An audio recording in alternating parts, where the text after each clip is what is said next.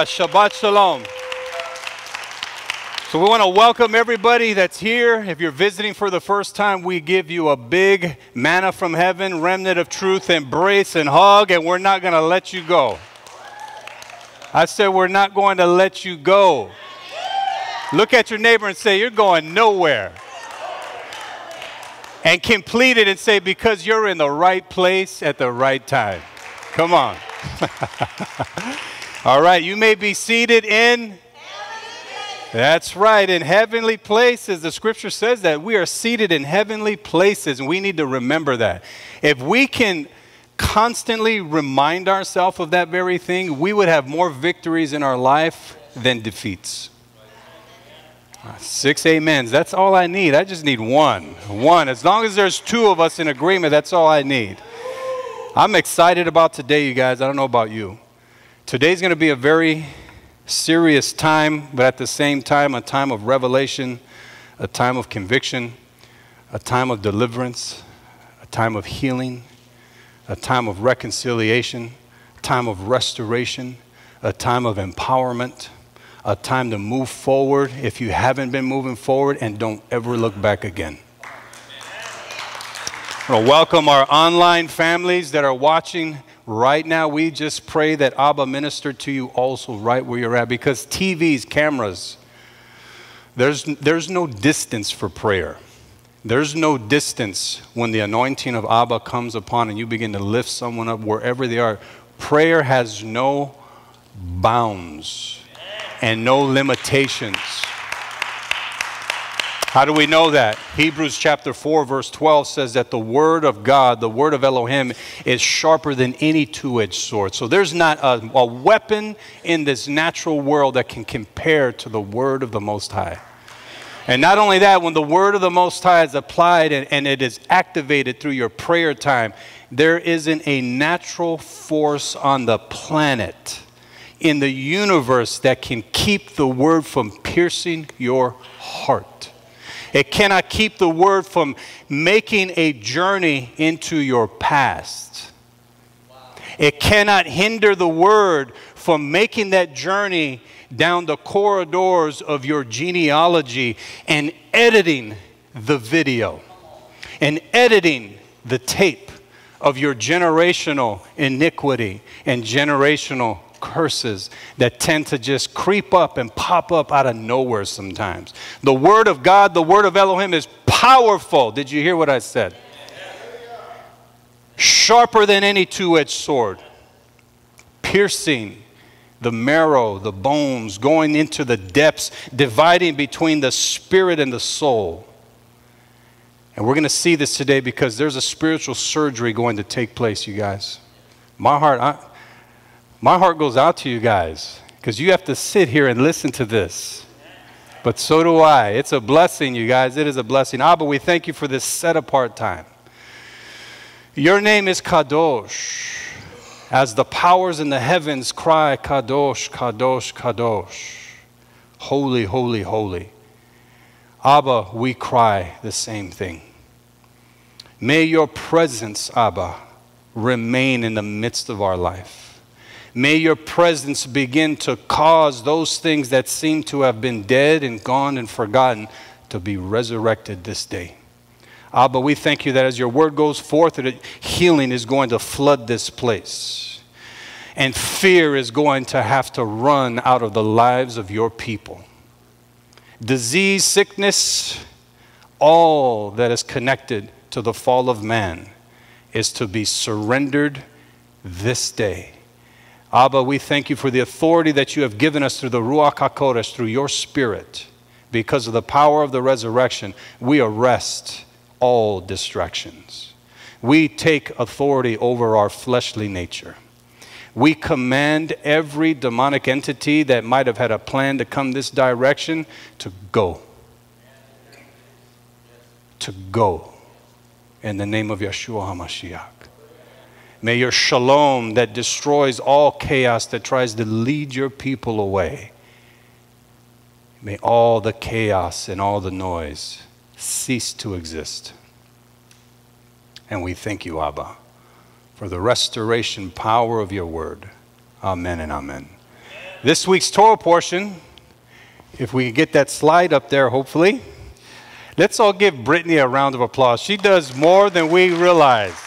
She is just taking care of business so that you guys can enjoy at least some visuals for your learning. You guys need to comprehend this, and I know you do, you that are watching as well, but in case there's just someone that happens to pass by, we are not into entertaining anything. We are not into entertaining anybody. We are here to see the kingdom of heaven, the kingdom of Elohim, be established and activated in the midst of our lives now. No more games. No more games. We've been playing games for almost 2,000 years as believers. No more games. No more religious games. This week's Torah portion, we I don't see how you can separate these two Torah portions. These two studies in Scripture that are found in the book of Leviticus, Vayikra, the book of calling, it's called the book of calling, chapter 12 through 15. Tazria ha metzora. She conceives the leper. That alone is a, is a sermon all by itself. But we want to dive in and, and look at some things. I'm going to read a couple of verses. Actually, one verse in the book of Luke. Let's turn to the book of Luke. If you got your scripture, say hallelujah. If you don't have your scripture, say, shucks, I'll bring it again next time. Okay, everybody has their word. That's good. Chapter 7 of Luke, verse 22 says this And Yeshua answering said to them, Go. Everybody say, Go. go. Report to Yochanan, John the Immerser, what you have seen and heard. Look at your neighbor and say, What we have seen and what we have heard. Blind receiving their sight I'm speaking strategically. I'm on a mission. I, have been sent with this today. I am on a mission. I am on a mission. Blind receiving their sight. Lame that begin to walk again. Lepers are cleansed. The deaf hear again. The dead are raised. And the good news is brought to those whose spirits have been crushed. You see, the good news, the gospel, as we know, I'm going to use terms, hopefully, the religious folks come out of the woodworks. I want you to judge what I'm not going to say at your bidding. I want the Pharisees to manifest themselves so that we can cut the edge of their seat seat off so they can come to a humble place using the word of the Most High. Tazria and Metzora. Look at your neighbor and say, a double portion. I want to say this to everyone that might be reading, listening, watching. You are the ones that want the wisdom of Abba's word. You are the one that wants the knowledge of his word. And you are the one that wants the understanding of the kingdom that has come. That's why you're here. That's why you're here. You're not here. I don't believe we're sitting amongst multitudes. Am I sitting amongst multitudes? I don't think so. I'm sitting amongst the students of the kingdom, the Talmudim of Yeshua HaMashiach. Notice, if we go back in Genesis, notice something in regards to the tree of the knowledge of good and evil. It is called that very thing, the tree of the knowledge of good and evil. Notice it's not called the tree of the wisdom of good and evil. Notice it's not called the tree of the understanding of good and evil. It's called the tree of the knowledge of good and evil. Why? Because knowledge by itself is not ready for transition. Knowledge must be communicated through wisdom. And when that knowledge is communicated through wisdom, then the understanding comes. And what is understanding? Binah. It's the ability to build. So without the wisdom and without the understanding, you stand as a tree of knowledge of good and evil and nothing else. knowledge alone removes the building blocks of the kingdom here on earth. Wisdom and understanding work hand in hand and side by side. In Matthew chapter 13, you can turn there if you want, you don't have to. We've done a series on the parables of the Mashiach. In Matthew chapter 13, Yeshua speaks a parabolic language to the multitudes as well as to his Talmudim. Parabolic language is a style of teaching. Pay attention to me, please. Is a style of teaching where truth is purposely hidden from the listeners so they can search out and discover the insights in their season. The Mashiach spoke parables on purpose so that not everybody would understand. Powerful. Parabolic language is using stories that people can relate to. The purpose of the parable is to hide the truth, but hide it in a way that the student, listen to me, that the student can find it. I hope you're paying attention. We're building a small foundation and we're going to take off. I see people being free today from a lot of stuff. You see, Abba's using manna, using remnant, using kol, kara, habidmar, bamidbar, excuse me, using emet, la Torah, using remnant remedy, using ministries, bringing this unity together so he can do a greater work. But remember this zealous ignorance is dangerous. You can be zealous for something you have no knowledge of. That is very dangerous. But Abba says, okay, I'm going to use you guys on the northwestern Pacific area for a powerful thing, but I got to collectively bring you together and make sure there's no egos and inner plans of their own that are just stifling the plan of the Most High. And I've got to clean all of us up. That's why we've been in such a weird transition. It's been very strange. The ones who are of the multitudes do not comprehend what Abba's doing. They're saying, let's just get on with the program. I came here with my popcorn and soda. You have to entertain me.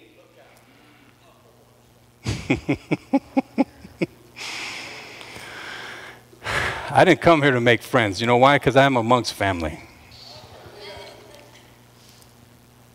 The purpose of the parable is to hide the truth, but hide it in a way that you can find it. The Mashiach taught this way when he spoke and when he was amongst everybody. He taught this way. Nothing will ever be yours, you guys. Catch this. Nothing will, you can never claim something to be yours until you discover it.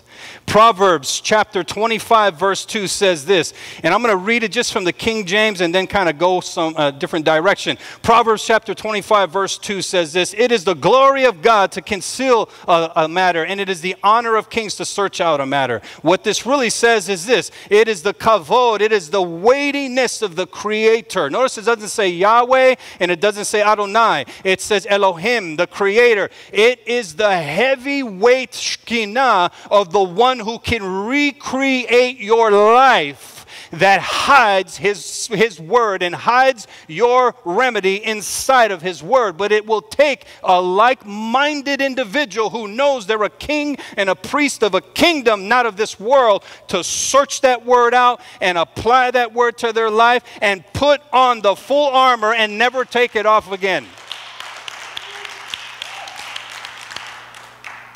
This Hebrew phrase is kavod Elohim ha-siter dabar ve'kavod melachim. Say melachim.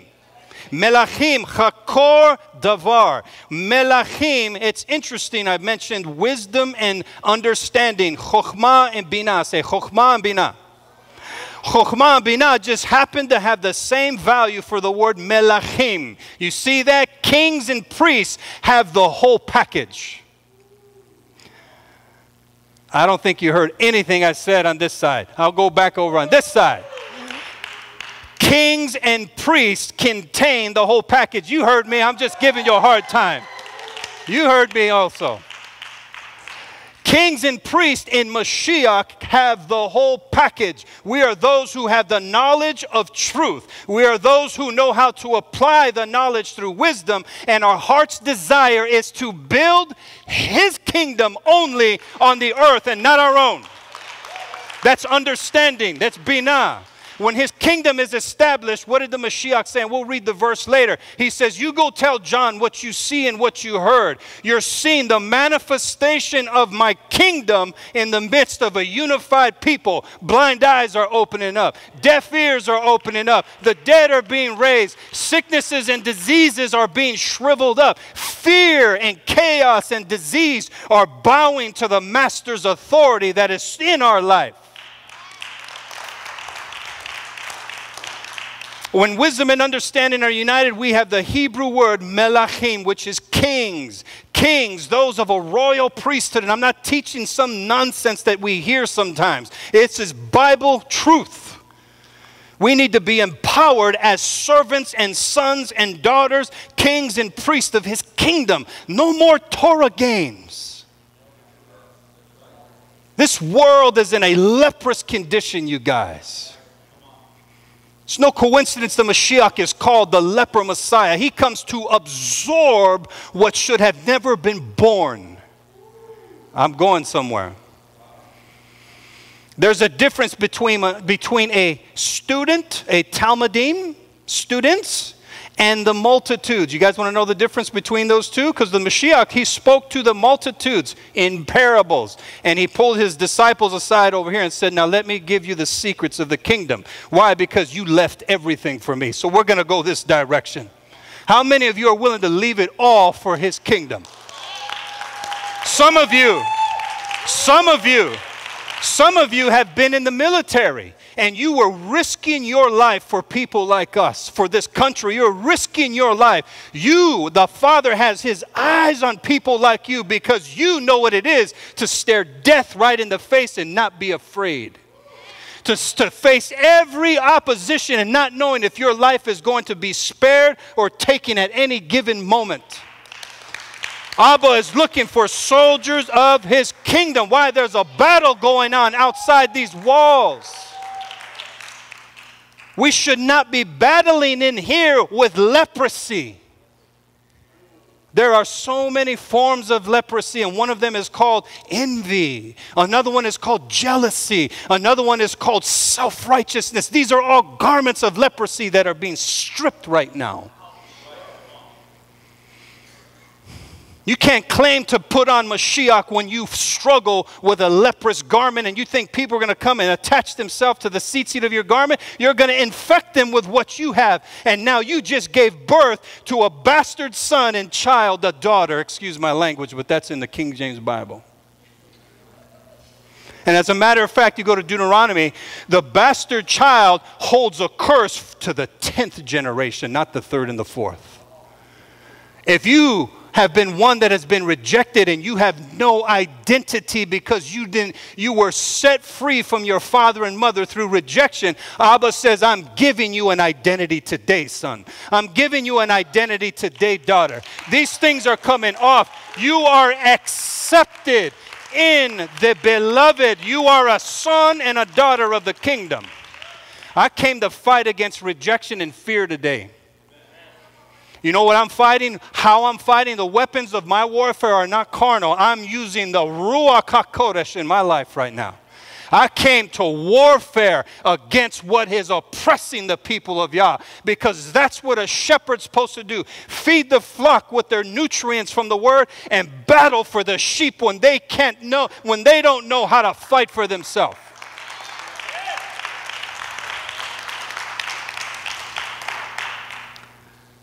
So let me give you the difference. Truth is hidden from the multitudes. Note that down mentally, write it down. I don't care, however you can do it. Why? Because multitudes are not really interested. They're only entertained. When is the pastor going to get done? We've been here for an hour and 15 minutes. Get that leprous complaining garment off of you and get your butt up here and repent of your complaining. Students of the word are those who dedicate themselves in the word and invest into that very word. Students of the word invest in the ministry they are a part of, whether it's their talents, time, resources, or all of the above. That's a true student. Those who invest into the things of Yah are immediately in a different class than the multitudes. Multitudes love free things, Pastor Dave. Give me something that costs me nothing. I'll do that if there's no pressure on me. I'll contribute to this with my time, talent, and resources only if it don't break my back or my bank. I'll be your Talmudim as long as you don't ruffle my feathers the wrong way. Well, you came to the wrong side of the town. We here, we like to ruffle feathers to make sure there's no little ticks and fleas hiding. Some little, instead of mosquito bites, eagle bites. We want to make sure those eagle bites are not hiding amongst the feathers. We want to get that junk out of here. You guys know what I'm talking about because those ones aren't here. Just kidding. Just kidding. Come on now. Just want to make sure you're awake. I'm going to check on you guys. There's a quiz after this, so you better stay awake. If you're not awake, today's the day. Herb brought his staff. That's the staff we're going to crack right next to you if you're falling asleep. Just kind of make a little noise for you, right, Herb? That's why he brought that. That's what a shepherd does. He has the staff to direct, the staff to remove stuff out, the staff to keep the serpents away, and then the staff to just kind of crack the sheep when they're not paying attention. It's called the love crack. But let's get back to these multitudes. They don't want to put something tangible into or for the things of Yah that are being taught. Elohim never reveals his secrets to the people who come to just take something for free. How does he study that? How does she find the secrets? And how come she sings that good? And how come this and how come that? Well, put yourself in this word and spend time, invest your life into him.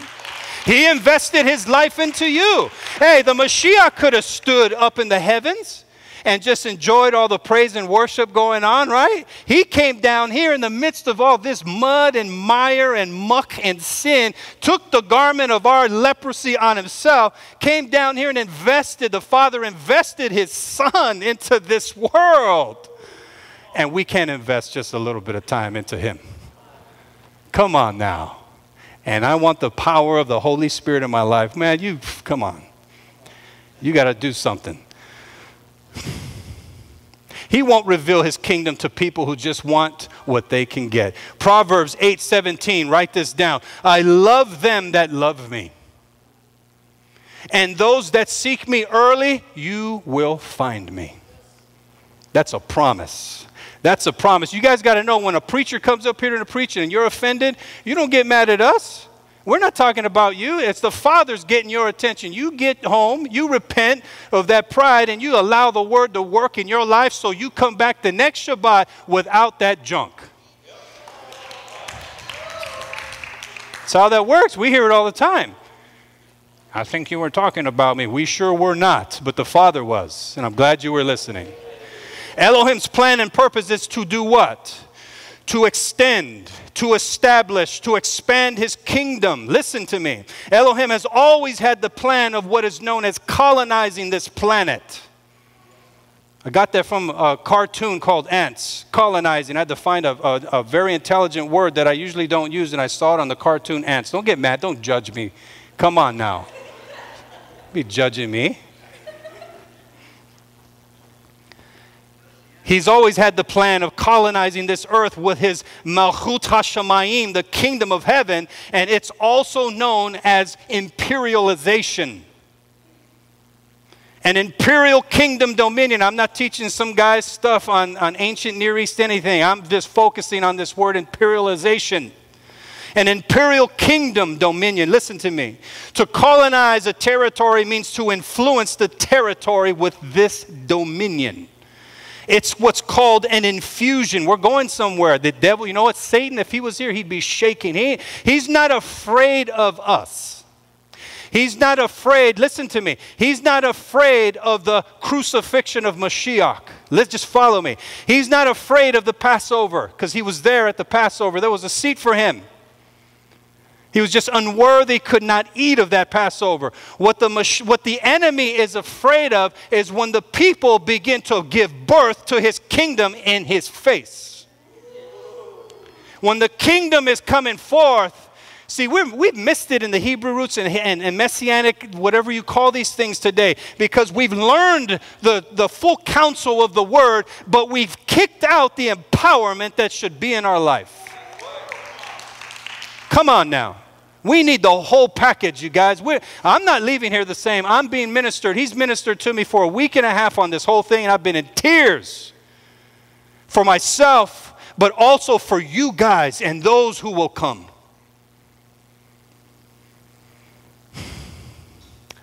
I got news for you guys. I hope you guys are going to shout for this one. Guess what? When you die, are you ready? You do not go to heaven. It's exciting, isn't it? Right? And there is no rapture that has been taught by the church. And I'm not judging the church at all, I'm, I'm judging that false doctrine. There's no rapture like what we thought. The earth is Yah's and the earth is our inheritance. Why would you want to leave your inheritance? the earth belongs to us as sons and daughters of the only true king. And we down here create the Jacob's ladder to have heaven on earth, a constant communication. But he needs sons and daughters that are willing to be changed and transformed from the inside out. you know why I'm laughing? I ain't laughing at you guys. I'm laughing at all the enemy because the enemy's defeated. He's like under our feet. I, I feel an inch taller because he's so far under our feet.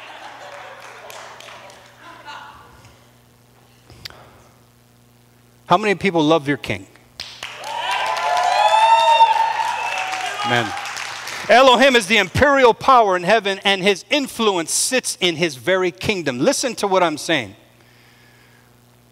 How many people are in a hurry today? How many people are not? So let's, today's different. Let's just wait till this guy's done. Is that okay? Because someone needs prayer and we're going to pray for whoever needs prayer. Just wait and let this word rub you wrong and rub you right and rub you from the top of your head to the soles of your feet. Let the word just make you uncomfortable today. Is that okay? Because we get comfortable at the movies, at, the, at, at, football games, all this other nonsense, and we sit there for hours without never complaining, ever unless someone's in your way from watching all the Nephilim running around with a ball down there. I'm just calling it like it is. We sugarcoated it now. Let me stay on point here, you guys. Behave yourself. Look at your neighbor and say, Come on now, let the guy preach. Someone said, You know what? Will he hurry up and get done? I'm not taking off this leper's garment. Mashiach said, The kingdom or the reign of heaven is inside of us. So that means if, if, if Abba sits on the throne of his kingdom, he's everywhere at the same time, and the Mashiach says the kingdom is inside of you breaking out, then he's the one that should be ruling and reigning in our life. When that kingdom breaks out, his presence, his influence, his nature, his image should impact everyone around you. Your spirit will draw that which is inside of you to you. Whatever spirit you have is what you'll be drawn to. Just hear me out. If you get mad at me, I, I, I'm not worried about it. Trust me, I'm not. When you've been left forsaken and, and just kicked to the curb, when you come back into the flock, the Father restores you. You got some armor on your side. It's called, I'm not worried about rejection or, or what people have to say because it's not about me. I'm going to deliver the message, wash my hands, and leave, and that's it. We did our part. We are to be a colonized community infused with the kingdom of heaven. Elohim desired to fill the earth with his very nature, and the weight of his kavod, his glory, is the very nature which is his image. When we come together collectively, it's the nature of Elohim entering the room. That's why when you see each other, take a step of faith, especially the one you don't like sitting next to, and say, Hey, good day, Your Majesty. Scripture says we're kings and priests. Good day. I'm saying it to all of you watching everyone. Good day, Your Majesty. I'm, I'm lifting you guys up. I'm lifting the countenance of someone up. I'm getting somewhere. Some things might sound funny, but I'm not here to play games. I'm being serious. Someone has been downtrodden, and this is the day that you stand on your feet. Amen. We're forbidden. Listen, Listen, we're forbidden to bow to idols. You guys know this commandment. But we kept it on a religious plane of something tangible. That's it. Yes, the scripture talks about making things of heaven and earth and in the ocean. Do not do that. But there are idols that people worship they never knew they were worshiping. Guess what? We are idol exposers. I love exposing idols, Pastor Dave. I love doing it. You know why? Because his name gets glory and honor. The scripture says in the book of Hebrew, it's book of Ephesians, it says, expose all the evil works of darkness. That's the love of God. That's the love of Elohim. Exposing the evil and revealing the righteous things for the people of Yah.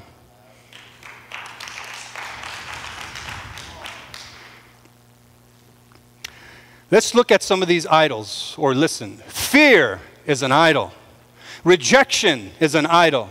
Sin is an idol. Envy is an idol. Jealousy, these are all idols, and the list goes on and on and on. We are not to bow to the idols or surrender to them. We must clean the house out of all of this junk.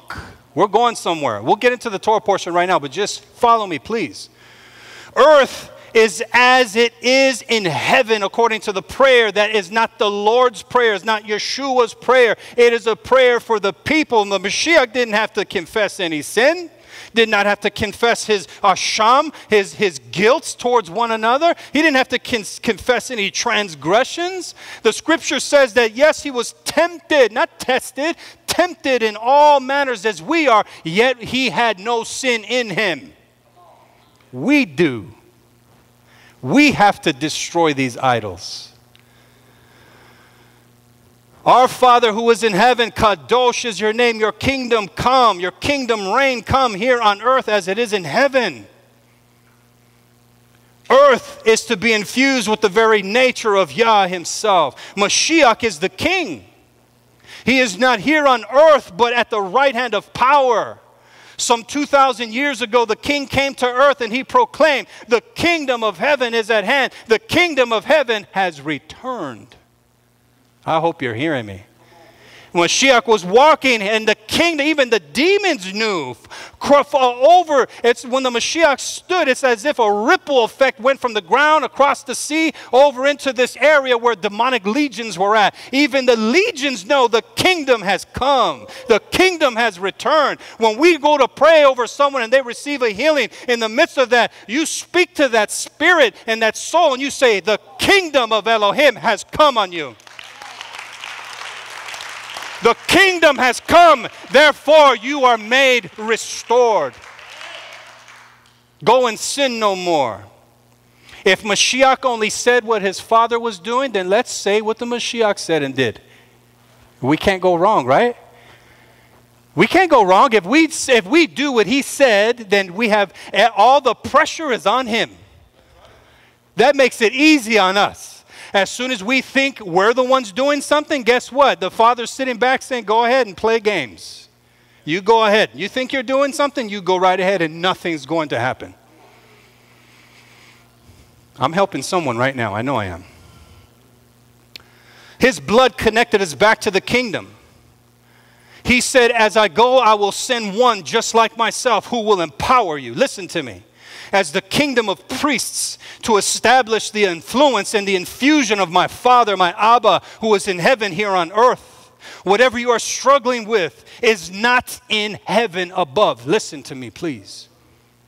Whatever you're struggling with is not from heaven, it's not from the kingdom of Yah. It's from the enemy, it's from the kingdom of darkness.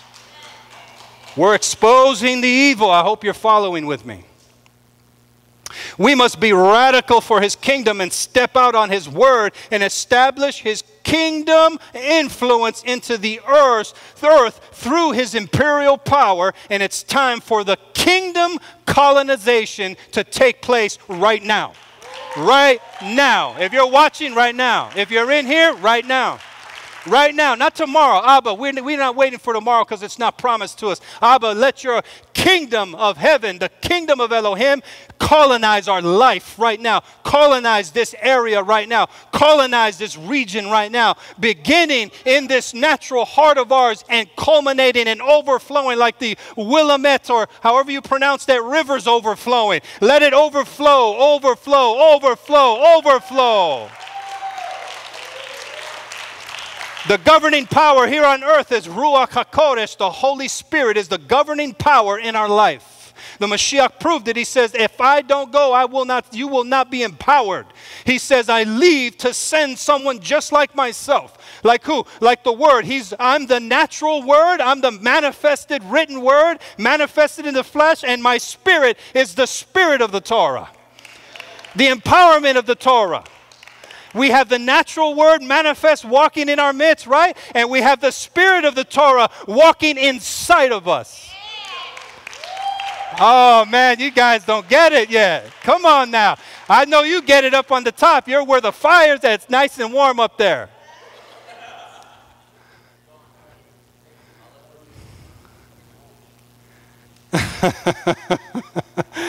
Notice all who were in the upper room. Here's a surprise. Surprise, surprise. Everyone who was in the upper room was not of the Levitical order of sacrifice. The Levitical priests paved the way. They were the descendants with John the Baptist. They paved the way some 1500 years ago.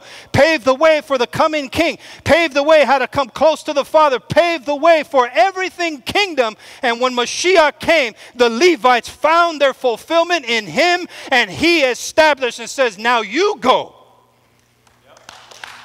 Now you go. He says, My temple has feet. My temple has legs. He says, You have legs, you have feet. You need to go out where my living temple's at, out in the nations, and retrieve my sons and daughters. You're getting it now. You're starting to get it. I love it.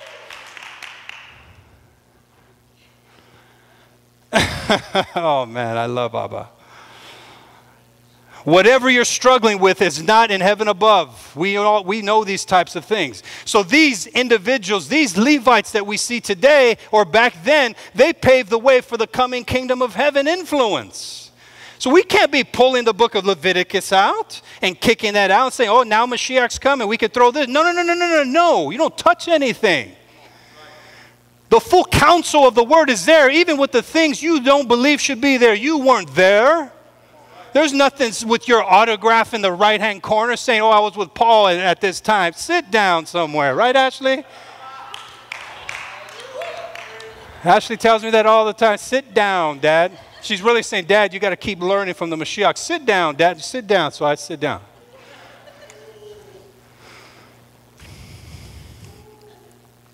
Those infused with heaven's power and influence were of a higher order, and we see this in Tazria and Metzorah with the two birds for the leper. One was slaughtered. Listen to this. It's interesting how the sacrificial system was. You have two birds in regards to the uh, uh, cleansing of the leper. The, the elements of hyssop and wood and scarlet are, are all inter, intertwined with the cleansing of the leper. Well, what do you know? These are some of the same elements that you see at Passover. So the Passover has the, the pinnacle point, the arrow tip power to transition us into sanctification.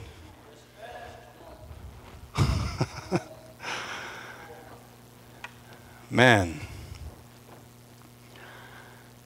So one was slain, the other one was dipped in that blood, and it was let loose to flap around all that blood and splash it all over your nice, pretty little dress and coat to splash you all up. That bird took flight. Why were the bones of the bird not to be broken? Because the Father is teaching us is that the resurrection power you have, there is not a power on the earth that could break the flight strength of the resurrection power of our Mashiach. There's nothing that can break the flight of his resurrection.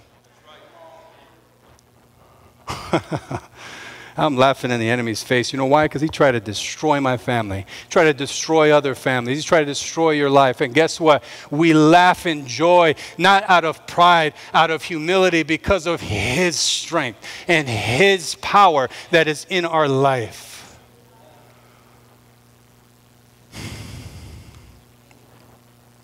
Only the penitent heart will find him.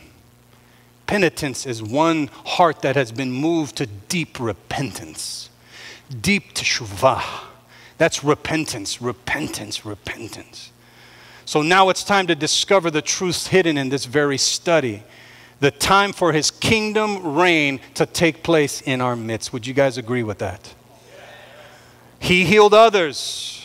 There's a phrase, look at this, it was used through the prophets, it was used during in the streets of Jerusalem. The Mashiach's healing everybody. He healed others but chose not to heal himself. Blessed are those who are not offended by this plain and challenging truth.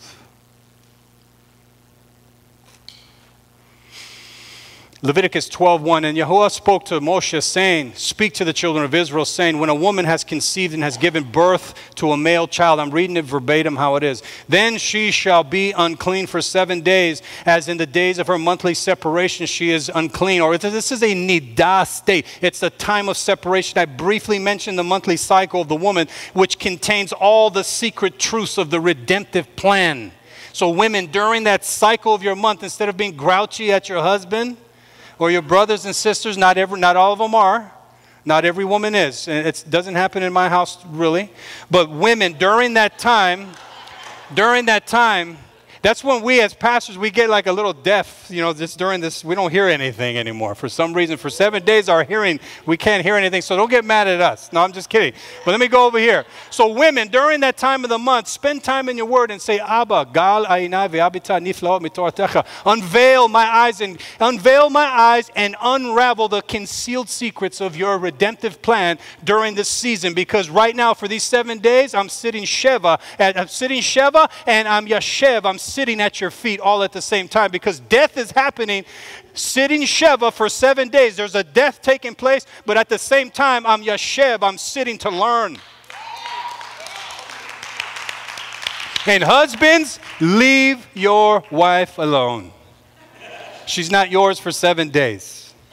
She belongs to Abba. He's ministering to her. She's containing the most deepest secrets of redemption during this time. Well, what do you know? The Nidah laws are in here. It's all here. Chapter 13, verses 1 through 59 deals with leprosy on the skin deals with the leprosy and the clothes, the beards, the eyebrows, and the homes. And if you look at this whole chapter, it's real interesting. All of a sudden, there's leprosy. It forms on the head, netech in Hebrew. It forms on the head. It's a scab. They have to watch this, and it can go from the scab to the beard. It could go from the beard to the clothes. It could go from the clothes to your home. The fathers say, when a leprous condition is on you, you can't hide your sin it will start to eat away at everything in your life. You can't hide. He says, Come to the Kohen Hagadol. Come to the high priest, the bishop, the guardian of your soul, and allow him to peel away the dead flesh from your life. In chapter 14, it says this, and Yorevavi spoke to Moshe, saying, This shall be the Torah of the leper. The Torah portion should not be called Metzorah, it should be called Ha Metzorah. That's what it says. There's a writing from a sage that said, We can't say that because then we're agreeing with the Messiah leper. And Christianity will jump through the roof because it's in our Torah. So let's just call it Metzorah. No, it is Ha Metzorah, the leper. The definite article. That means the one. There is one here with a leprous condition that is taking place because because of the people of Israel. And we read these chapters, it gives all the details in there, which I'm not going to go into because we'd be here forever. But let's talk about Tazria. She conceives seed. That's what that word means. She conceives seed. It comes from the Hebrew word zara, which means to uh, seed. It's sowing. It's the word for sperm, offspring. The first time we see this is in Genesis chapter 1, verse 11 and verse 29, dealing with what? The manifestation of that which was hidden. It's a birthing process. Ha Metzorah, the leper, comes from tsara Tsara is the word for leprosy, and it means to be stricken. It's the word to be to have a blow, to be hit, to strike, to be inflicted with leprosy, and also the word for scourging. The Mashiach was scourged, was scourged, was, was wounded, bruised, scourged, all of these things, stoned. The Messiah was also stoned. They didn't teach that in Sunday service church. He was stoned also to fulfill all righteousness. That's why when he, towards the end of his ministry, guess what happened? When he began to, I would not doubt, I'm going to just kind of narrate this, but when he was getting ready to walk back into the city towards the end of his ministry, all of a sudden the multitudes came and said, No, no, no, no, no, you can't come in here. You can't come in here. Why? Because his appearance, he was taking upon himself our leprous condition in his body. But we don't believe that. I know you do, but you know, there's, there's a group called we. Just like there's a group called but. But this, but that. That's called the excuse group. They're not here. They're never here, right? The numerical value of, t- of tsara, the word for leprosy, has the same value, a, number system connected to, in, that's found in the Hebrew language, the same value for the Hebrew phrase ezer kenegdo, the helpmeet for Adam. You see, the leprous condition was intended for the woman all along. Says the enemy says, if I can get her, she'll bring out fleshly sons after my flesh. I'm going to show you this. I'm going to show you this. Keep following me here. The same as Ezer Kenegdo, the help me found in Genesis 2.18. But let's look at this word. Metzorah. There's three other words here. We have matzar, which means to be bound, to be confound to something, to be limited. We have metzer, which means a boundary that you can't cross, like a prison gate. We have metzar, which means what? A straight, a narrow place of distress. There's the narrow path of Mashiach, and then there's the narrow path of leprosy. Because of the mem prefix, this could reference a man who was bound, a man who was confined, a man who has been limited, someone who was in a narrow place of distress. They would have become a walking Mitzrayim, the word for Egypt. One who has leprosy is a walking limitation. And we know the rabbis, the sages say that leprosy is not some normal disease. It came because of Lashon Hara and Rechilut. Lashon Hara is evil speech, Rechilut is character assassination. When you speak, how do we know that it's connected to that? Because Miriam, she begins to speak, and the scripture says, Yod He Vav He heard what she said. He says, You're speaking guile, now you're going to be a walking leprous condition so that everybody can hear you moaning and crying and no longer gossiping and being a talebearer. To open the womb from the inside out is one who holds the key, and we see the Mashiach. He's the one who opens the matrix. To open the womb from the inside out, He's the one who holds the keys to life and death. The one who opens the womb from the inside out is the one who unlocks the world of the, mirac- of the miraculous. The one who opens the womb from the inside out is he who is the healer. The one who opens the womb from the inside out is the great physician. The one who opens the womb from the inside out is the creator manifested. The one who opens the womb from the inside out is the key master and the king of kings. So let's go further. Let's keep going. Let's look at some permutations of the letters of tsara. Watch this. Tsara means leprosy, to become leprous and to be scourged. Ratza means to be pierced, to bore, scourge with a strap. Ra'atz is the word to smash, to shatter, to crush, to smote, to breaking, and to breach, as in a contract or a covenant. Aratz means this power or a force that moves forward, causing to tremble. The way a disease comes on someone, and moves from the inside out, and then the final parts you see on the flesh of the outside. And then we have atzar, which means to arrest, to press, to squeeze, to rule. The full word of leprosy is tsaraat, and it has a permutation, as you could see up on the board, atzeret. Remember? Simcha Torah, etc. The eighth day of celebration. So the Torah, the covenant of the Most High, is the antidote for a leprous condition. And the Torah, the covenant of the Most High, was manifested in the flesh. I hope you're tracking with me here. I hope you're tracking with me. Leviticus chapter 12, verse 2. Here's a little secret. It says this Ishaki Tazriah. Veyalda Zakar. Look at the initial letters. The initial letters of this it has the equivalence to a Hebrew phrase, Hamashiach haben David, the Messiah, the son of David. The Messiah, the son of David, is the one that the Torah is talking about, that the woman conceived. The woman is Israel. She conceived the leper Messiah. How do we know that? Because of what took place in the beginning, and we'll get to that in a little bit. The one who comes forth from the womb of the woman, the one who breaks the matrix code of mankind matrix code of mankind, the great physician, the healer, the deliverer of Israel, the creator, the high priest, the Kohen Hagadol of the universe. Are you hearing me? The beginning and the end, he who was, he who is, and he who is to come is Yeshua HaMashiach himself. Yod He Vav He in the flesh, as Psalms 110 is a Melchizedek psalm. The translators say, oh, no, no, no, we can't put Yod He Vav He sitting at the right hand or sitting next to Yod He Vav He. It makes no sense. That's what the scripture says. Why? There was a bosom called El Shaddai. There was a bosom called El Shaddai. Remember Moses? The first time you see leprosy in Scripture, Moses, put your hand, your arm, put your right arm, Moses, in your bosom. Take your right arm out, Moses. It was leprous. Moses, now return the right arm back to your bosom. What is this teaching that he gave to Moses saying, through my law, my Torah, it will reveal the sinful condition of Israel.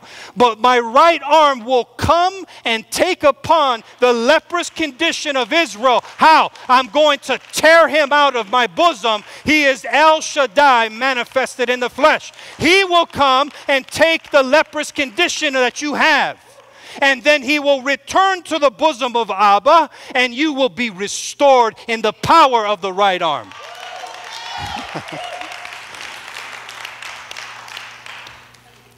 How many people love their king? How many kings ever? You show me one king who has ever laid his life down for his people. The only one, Tim, that, that stepped up, whatever that looks like, off of his throne. And he said, I'm ready to go. Even if it was just you, Jonathan. Even if it was just you, Rob. Even if it was just you, Mike. Even if it was just you, Gene. Even if it was just any one of us, Matthew. Dave, Brenda. If it was just you, that was good enough for him. All he needs is one. It is the king who comes and removes our leprous condition. I hope you guys are not in a hurry because I'm going to bulldoze right over the hurriness. That's my job today, is to crush all hurriness. We're here to be set free. This message is for everybody.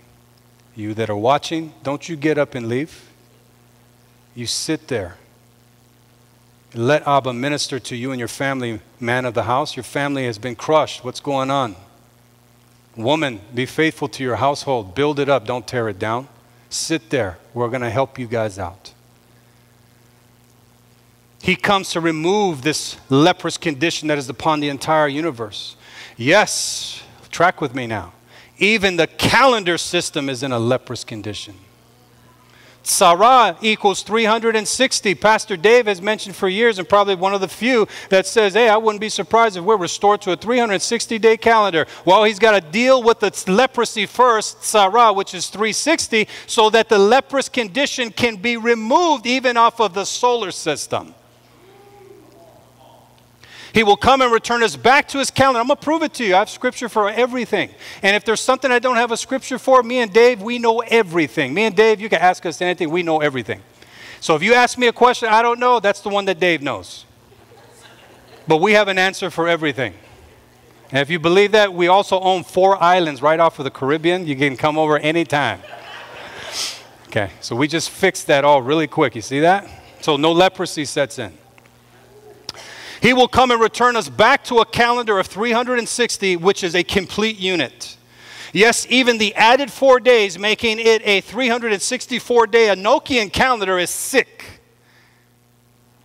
And he comes to heal his appointed times that man has tainted through his speech and dogmatic domination over the unlearned people. So let's see if I have any kind of proof text of a 360 day calendar with using just some verses alone. Because to calculate a calendar, you need a sun, you need a moon, and you need celestial bodies. Right? not terrestrial bodies interfering with everything all the time. You need the celestial bodies in the heavenlies. So let's look at this. Revelation 21, verse 23, and 22, verse 5. And the city had no need of the sun or of the moon. There goes the old calendar system out the window. 360 days, all back here again with no more night. It's that easy. You see how simple that was? We just fixed it, Pastor Dave. So, all you guys confused about calendars, here it is Revelation chapter 21. And it can bring all the confusion to nothing in the end. Revelation 22 5, and night shall be no more, and they shall have no need of a lamp or the light of the sun, because Yod-Heh-Vav Elohim shall give them light, and they shall reign forever and ever. Amen and amen. Leprosy is a form of nakedness. Nakedness is the result of a leprous condition. 360 is also the value for the word found in Scripture after the fall, back in Genesis 3 7. Let's go there. Let's, let's, let's do this. You guys ready? Let's, let's get serious now. Come on, let's beat this fleshly nature down to a pulp and slam it up on the altar and leave it there to burn all night. Put some fuel on that flesh because I want to keep that sucker burning. you got to forgive me. We're from Los Angeles. We're radical. So we're, we're, we're, we're trying to get used to the beautiful weather and, and the more calm. But then when that anointing comes out, you can't help it. I can't help it. You guys got to pray for this guy. If you see them put, if you see man and say, okay, Pastor John's coming, Up, say, Father, pray. I pray for him, you know, what? because he can't stop moving around. Look at Zach's shoulders are getting built because he's just moving the camera back and forth. I'm sorry, Zach. Zach, give it. Zach is really putting it into. Now let's, let's get here. Genesis 3 7. Then the eyes of both of them were open, and they knew that they were naked and they sewed fig leaves. Woo! Fig leaves. I bet that's comfortable. Together and made loin coverings for themselves. And they heard the sound of Yod Vav Elohim walking. The sound is the voice. The voice was walking in the garden. Imagine that. The voice making a movement like gigantic footsteps or maybe some very soft, gentle steps. If you're doing what Abba wants, it's probably gentle. If you're not doing what he wants, it's probably boom, boom, boom. Oh my gosh, here comes again. You've been a bad little boy and a bad little girl. I'm going to go get that fig branch and I'm going to let you guys have it. He didn't do that. It was worse. It was worse than that. Verse 9, and Yod-Heh-Vav Elohim called unto Adam and said, Where are you? It's really like this. Adam, do you know where you have fallen to now? Adam, do you even know where you're at now? Do you realize what you guys have done, Adam? The voice that you once walked with, you're afraid of it now. You guys haven't even come together to make children, and yet you brought forth a couple of sons already called Naga and one called Fear. Where are you? And he said, I heard your voice. He didn't even say anything right up front. He's, he's uh, coming up with an excuse already fig leaves. I heard your voice in the garden, and I was afraid because I was naked, so I hid myself. And the father goes on, Who told you you were naked? Follow me, please. What Adam was saying was, I am covered in fear now. This is not funny. So I hid myself in excuses. Let that sink in for a minute. I'm covered in fear. He says it. I was afraid, so I hid myself. He was afraid first, and then the fig leaves come on. One who has, has been impacted by fear, all kinds of other stuff comes forth. You'll make an excuse for everything now. You're just walking in fig leaves. But you know what? I think the Garden of Eden had something on us today. We thought we invented stuff. Just hold on a second. I'm covered in fear, so I hid myself in excuses. The voice of leprosy cowards to the voice of life. Listen to me. The voice of leprosy cowards to the voice of life. Two words conversing together, one spirit and the other one of the flesh. The word for naked is erumim. Say erumim. It's from the root word aram, and this word is found in Genesis 3:1. Remember, Adam and Eve said we were erumim. The, and, and the Creator says, Who told you you were erumim? And it goes on. Look at this word aram is where erumim, nakedness, comes from. It's found in Genesis 3:1 regarding the fallen state of Nachash. The Nachash was more naked, cunning. It's used for the word cunning. The Nachash was already naked, and he was luring them into his nakedness, which had brought forth fear upon all mankind. But look at this. Adam and the woman put on the naked or the cunning state of the Nachash. Follow me now. This is going to get really interesting. Let's look at the word for fig leaves. We're going somewhere. This is, this is very deep stuff here. Fig leaves is ele te'ana. Say that. Ele te'ana. Ele is the word for leaves. The word for fig is te'ana. But let's look at this. Leaves is related to many Hebrew words, such as going up, olah, and also excuses. The reason why no one's getting closer to Abba is because there's too many excuses. Get the excuses and use that as the fuel for the fire on the altar in your life. Come on now. It's going to get probably quieter and quieter as we move along, and that's what I'm hoping. Uh, you think I'm kidding? So we see this here, olah and excuses. The Hebrew word te'ena is actually very interesting. Look at this. It's the Hebrew word that actually means this. You can find it in the Hebrew etymological dictionary the time when animals mate. Adam and Eve covered their reproductive areas with that which means the time that animals mate. I hope you're tracking, boy. Come on now. In a sense, man and woman joined together in a way like animals in order to bring forth their, their descendants. Adam and the woman covered themselves in what would now be an open door for death and disease. This was passed on to everybody, but there is a remedy for this very thing that took place. The garment of light has now been replaced with a garment of skin. Not any skin, but the skin of leprosy born out of fear and excuses. The numerical value of Elet is 561. It's the same as Niflaot, that which is concealed or hidden. Gal Ainai Ve'abita Niflaot Mitoratecha. Unveil the truth. How? How can you unveil the truth when you're covered in leprosy? Adam and the woman's true nature was now hidden and concealed in what is known as the congealment. Mashiach has come to create all things new. 561 is equivalent to another Hebrew phrase, bara Mashiach. Mashiach creates or recreates. That's good news. Notice how the first time we see the foundation stone for all sickness. Follow me now. For all disease, for curse, ailments, struggles, generational iniquity, and generational sin. The foundation stone that everyone's drinking from is called fear. Track with me because we're all going to be set free of some hidden things. Everybody. Everybody.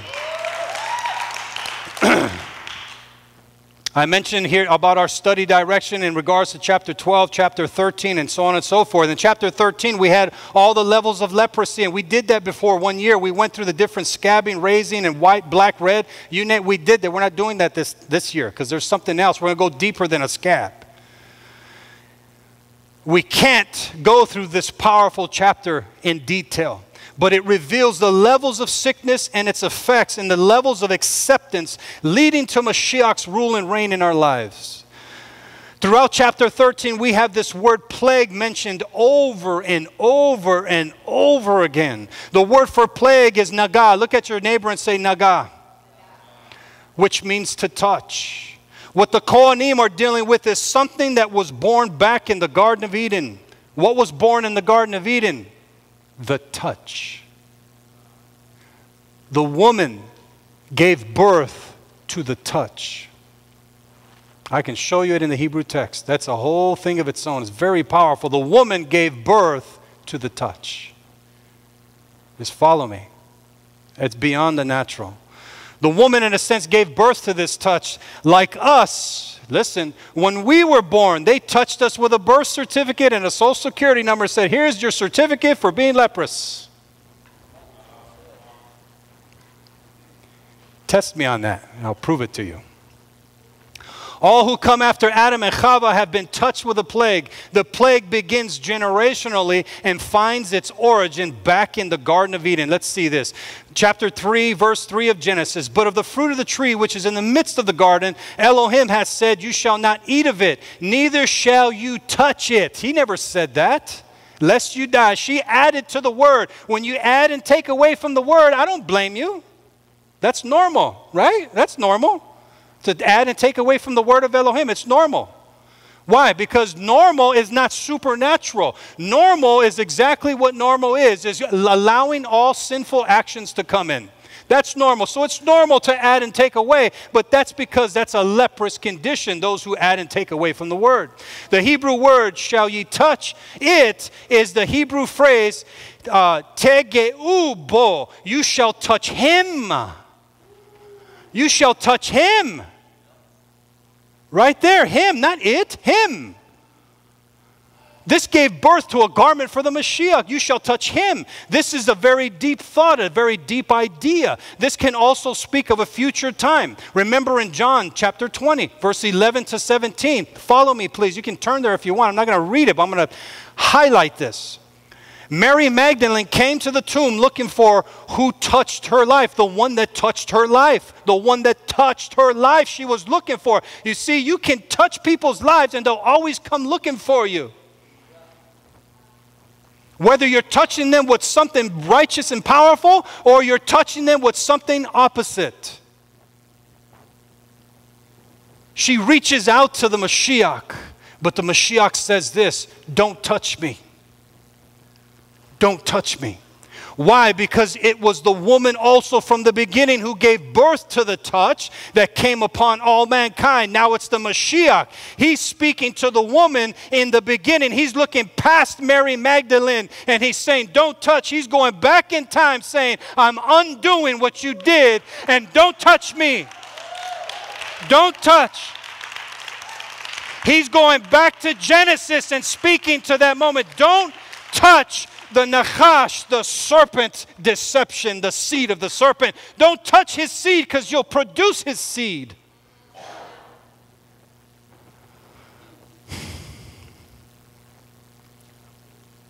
On a very deep level, Mashiach is fulfilling the process of destroying the touch by his ascension to the altar above. Mary, don't touch me. Mary, whose root meaning means bitterness, was admonished not to touch the resurrected body. Bitterness feeds fear and feeds resentment. Mary, see, the, the Torah is deep. It's going past an individual, past the name of the individual, back, going past and going to the source of things. The Mashiach saying, bitterness, you can't touch me. You can't touch me. I hope you're tracking because he's already doing something right now. I could see it in some of your eyes. Hallelujah. Mary, don't touch me. Mary, her root means bitterness. The powerful work of healing and cleansing of the first Adam was in full effect, and the once Nagat touch that was upon mankind has now been laid to rest in the tomb and upon the new man who was resurrected from the dead, known as the last Adam has now come forth with what the first Adam was supposed to walk in, but he didn't. Mary, don't touch me. I'm about to do a work in the Garden of Eden that the Father zipped closed on the Temple Mount area. It's zipped closed by the mountains of Moriah. We walk past it during all the tours all the time, right? We're walking right past the whole area where Garden of Eden was, but we can't see it because the Father hid it. He says your leprous condition closes up the gap. It closes up, and you can't enter that right now. It's going to take a fiery sword of my spirit that the cherubim, the cherubim, are guarding. It's going to take that fiery sword to check you at the last moment to see if you're worthy to come in. I'm going to check your bones and smell them. The, the sword of the spirit cuts through the flesh and goes down to the bones. Isaiah 11:3. He's going to smell the bones of his people to see if the image is inside of them. What image? The image of Elohim.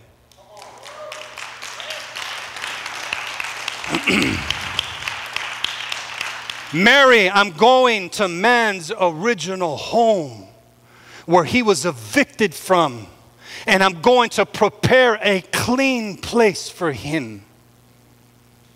I will come again and bring you with me, but wait in Jerusalem until the time. Why would the people not want Yeshua coming into the city? Why did they tell him, please don't come in here? Because towards the end, as I mentioned before, the end of his ministry, the leprous condition was coming upon him. Luke chapter 4, verse 23, out of the words of the Mashiach himself, he says, No doubt shall you say this proverb to me, Physician, heal yourself. Why did he say that? Because of what? A scourging? No. Because of a crown of thorns? Didn't happen yet. Because of a stoning? That didn't happen yet. Because everybody he touched, he, if you were blind, he absorbed your blindness and it came on him. If he, you were deaf, he absorbed that. He absorbed every sickness. He healed the lepers. No one ever healed a leper except for Naaman the prophet. That was it. No one had that powerful anointing to heal the leprous condition but the leper Messiah who absorbs man's sickness and disease.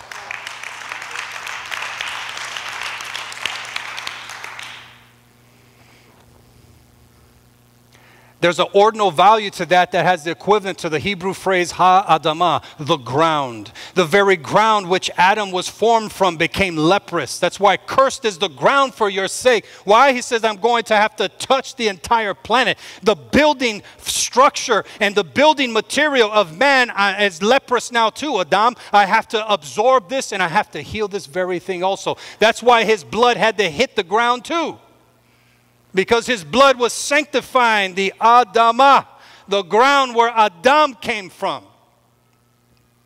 And if you look at that Hebrew word, Hey, Aleph, Dam, Dalet, Mem, Hey, Adam, the last Adam's in the center of the two Heys. So he says, This Adam will be planted in the earth so that I can give out my hay to the people of Yah, the breath, the nas, the breath of Yah, the two hays inside of the spirit of man. Mashiach was touched by man's sin. The woman prepared a garment touched by adding to Yahweh's word seen in Genesis 3. Mashiach was more than pierced, you guys. He was more than scourged. He was more than beaten. He was more than stoned. He was touched by all of our sickness and disease, and even fear touched the Mashiach. The origin of all sickness, disease, and ailment, which is fear, is one that touched the Mashiach. Why? The fear, the spirit of fear. It's a spirit of fear. Some might say, no, it's not. That's Pentecostalism. No, get that out of your mind too. Father, we just help deliver that mind because it's beyond a, a, denomination. It's true. There's also a spirit of Python. Uh, Acts chapter 16, verse 16. The woman that with divination going to ta- taunting Paul, remember? She's taunting Paul, taunting Paul, and Paul turns and says, You spirit of divination, come out of her. Look at the Greek word. You spirit of Python, come out of her. It's the word python. What's a python? It constricts the breath in someone to crush their foundational structure. That's what the enemy does. He wants to constrict you from breathing and, and, and internalizing the things of the Spirit so he can destroy the foundations in your life. But there's a spirit of fear, and that spirit of fear came on the Mashiach in the garden just before his crucifixion. Let's turn there. Matthew 26, verse 39. Is this helping anybody, or should I stop now? Because Dave's, he, he's going to let me know, like, Lotto will let me know. You know, you guys have been, no, no, we're going for it. We're going for this. Matthew 26, 39. and going forward a little, he fell on his face and prayed, Oh, my Abba, if it is possible, let this cup pass from me, yet not as I desire, but as you desire. The Mashiach in his flesh felt the presence of fear come into the garden. The final enemy before death is cast into the lake of fire, Mashiach had to overcome the fear. The Hebrew word haku, hakos is the cup, the cup of judgment, the cup of decay. Mashiach overcame the origin of all sickness and disease that, that took place in the garden. This garden was manifested, the cup. He drank our penalty of sickness and disease. And I want to ask this question why hasn't anyone spoken of this part in John chapter 19, verse 41? How come no one has talked about what we're about to read right now? John 19:41 and at the place where he was crucified okay we got that correct there was the garden and in the garden a fresh tomb in which no one had ever laid before how come on the tours they have the crucifixion in some place that it's really not there and the tomb in another place that's really not there when they're both in the same location? John chapter 19, that's a, that's a witness right there. The tomb where he was buried is right next to where he was crucified. Who changed the location? Ah, maybe it's because when leprous conditions come in, man wants to spread all his nonsense and all his leprosy to everybody else so that they'll praise his garment of leprosy that he's wearing with his leprous crown, his leprous everything. Told you was going to get quieter. He was also buried in a tomb that had never been touched. The same location of his crucifixion. It's all about the touch. One touch healed the woman with the issue of blood. One touch opened the deaf ears. One touch opened the blind eyes. One touch raised the dead. One touch heals your soul. One touch delivers you from the spirit of fear. One touch heals all of our infirmities and diseases. One touch breaks the generational curses and generational iniquity hidden in characteristics. One touch sails across the DNA ocean where the soul of man lives. One touch regenerates you and I. So let's talk about this for a little bit. Let's speak on the different levels of infirmities and diseases. But before we do this, we're going to go to Isaiah chapter 52 and 53. This is a proof text. I'm going to tell you guys Isaiah 54 is the chapter to help you with resentment and rejection and fear. Read it. Isaiah 54 is. That's just for you. That's a side note. Isaiah 52, 13 to 15.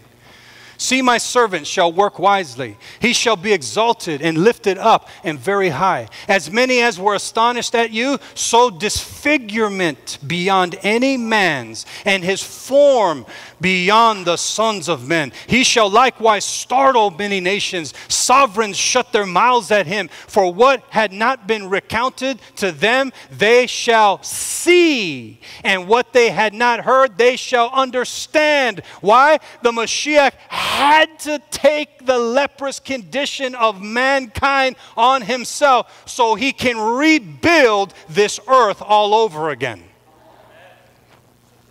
Boy, I'm going to step on some toes in just a minute. Isaiah 53. Who has amened our report? You can look at that word, it's aman. Who has amened or who has come into the place of agreement? And to whom was the arm, there is the arm of Yod Vavhe revealed? For he grew up with him as a tender plant and as a root out of dry ground. He has no form or splendor. Follow along. Get a hold of your flesh. If you're tired, just stand up, jump around. It doesn't bother me. I'm not moved by babies crying and by people moving around. I'm not moved by that. But my spirit gets moved when people start falling asleep on Abba's word. We're going to start pointing you out, and pour some water on you. Just kidding. For he grew up his splendor, no splendor that we should look upon him, nor appearance that we should desire him. Despised and rejected. These are all connected to a disease, you guys, all of these things. Despi- I'm, I'm act, when I'm reading this, do you know that these are names of entities? So they're being ruffled as we're ministering right now. These things are being ruffled. They know this day is the day of freedom, and this day they are evicted. They have to go a man of pains, knowing sickness, and as one from the fa- as one, excuse me, and as one from whom the face is hidden. That's a leprous condition. Being despised, and we did not consider him. Truly, he has borne our sicknesses and carried our pains, yet we reckoned him stricken, smitten by Elohim, and afflicted. But he was pierced for our transgressions, he was crushed for our crookedness. The chastisement for our shalom was upon him, and by his stripes we are healed. We all, like sheep, went astray. Each one of us has turned to his own way. That's how you know when someone has their, they don't want to come to community. You know, here's another garment of leprosy. When people, I'm going to be, can I be transparent? When people only want to come when Dave's preaching and then you stay home because you don't like this guy or this lady. That's leprosy. Stay home forever. We don't want you back here. So don't come back. Don't come back.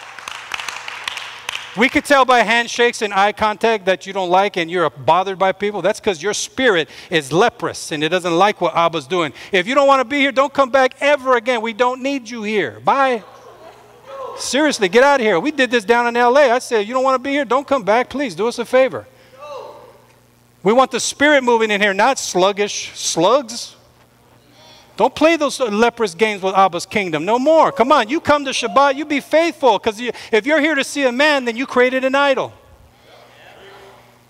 If you don't want to be here because you don't like someone, you have leprosy, get the heck out of here. We don't want this house leprous. Bye. Don't come back. And anybody that don't like it, I, I, I, I can, we can always talk. I'll sit here and just listen. But make sure you bring Bible, not emotions, because I will shut the emotions down. If you're embarrassed, that's on you. Don't come back if you don't like this guy, that lady. That don't come here no more. Get out of here. Abba wants to fresh hearts here. If you can't, or get up here, repent, and don't do that anymore. I've been known to call point this stuff out, and I will. I'll do it. I'm gonna do it. But remember, when I do that, there's what four fingers pointing at John. But seriously, don't bring your leprosy here. We don't want it no more. Get out of here. All right, let's get back to business. All the petty stuff is taken care of. Elohim is no respecter of persons. He doesn't respect or show favoritism for this fictitious world that we live in. Healing is for those who come to the altar, who come to the foot of the tree where our master was crucified. Many in the Messianic and Hebrew roots communities need to pay a fresh visit to that place where our master's blood dripped down the tree and confess the deep sin that has estranged you and has wrapped up you in fear and pride. This is a place of restoration. People have names called restoration this, restoration then. They're killing families and people. They're leprous too. I don't know who they are. They're out there somewhere, but Abba's doing a work here with Remnant and Manna. This is a, a, spiritual hospital. You come here, we will not give you chemicals that only make things worse. We're going to give you the unadulterated word of Yah that you take three times a day with plenty of water.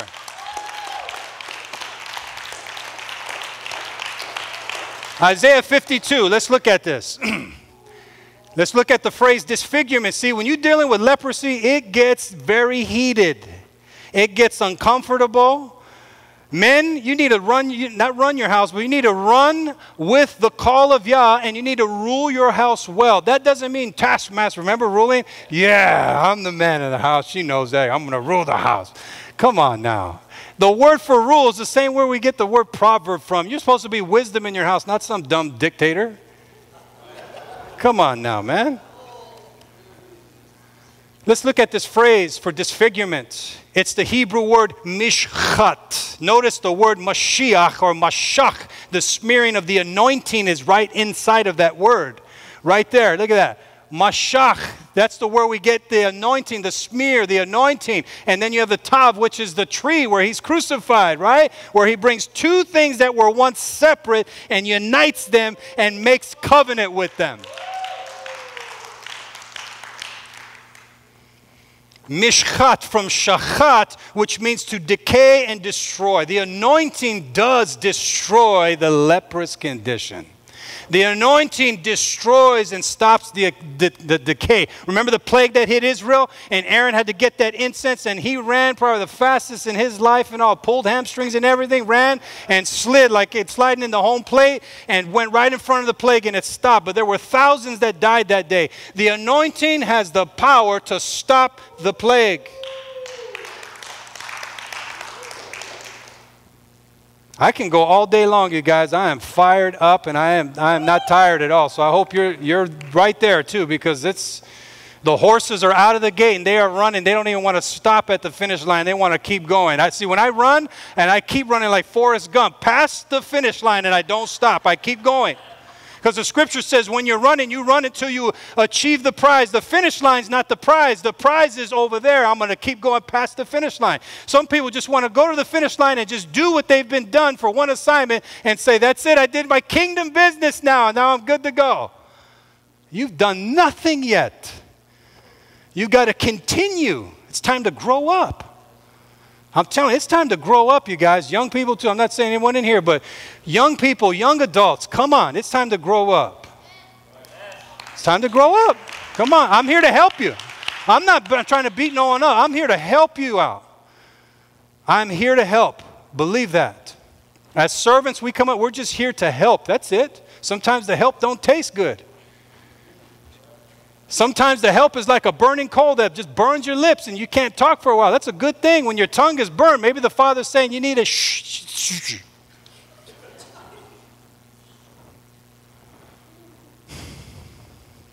We're just getting, we just got, we, we're in second gear right now. We still, we're, we're going to redline every gear, you guys. So just hold on. I'm not playing. We're redlining this thing. I'm not kidding. What is happening today? Men are trying to do what? Build things. This word, mishchat, no coincidence, is used in the destruction of the first and second temple. Wow. The first and second temple became a disfigurement. I didn't write the scriptures. I just read them and study them and live them to the best of my ability. What's happening today?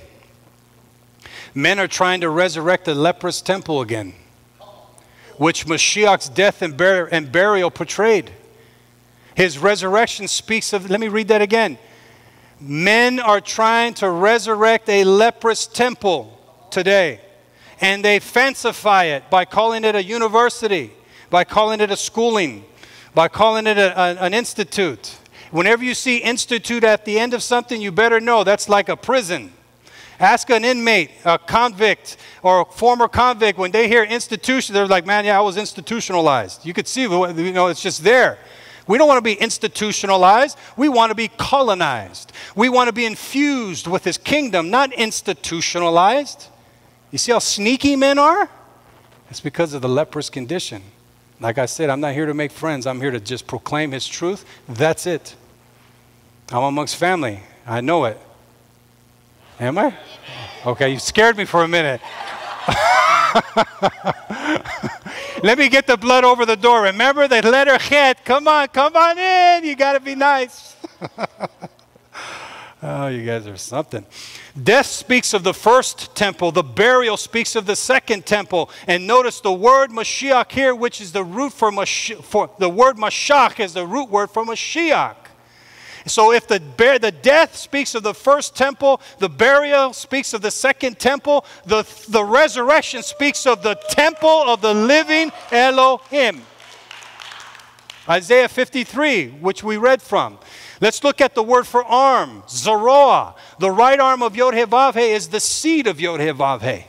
The root of Zeroah is, is the root word, is, is related, excuse me, to the Torah portion Tazria.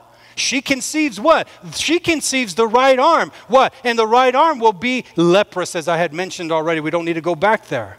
This woman conceives this. And it is the right arm of Yod Hevavhe who takes upon himself the leprous condition of the woman. Israel, or can we say Chava, and to bring it down where people are just learning to a face to face place, the church.